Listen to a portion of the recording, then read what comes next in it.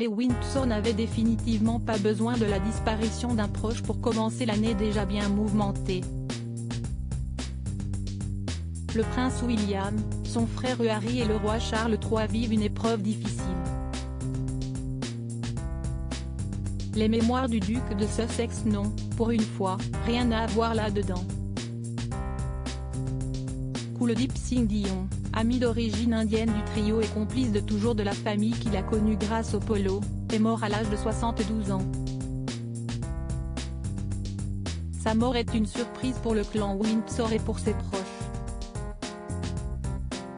Rien ne mettait sur la piste d'un décès, lui qui se trouvait pourtant en pleine forme.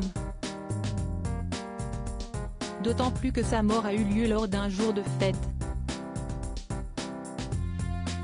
En effet, comme le précise Mail Online, Kuldeep Singh Dion assistait au mariage d'un membre de sa famille en Inde lorsqu'il est subitement décédé.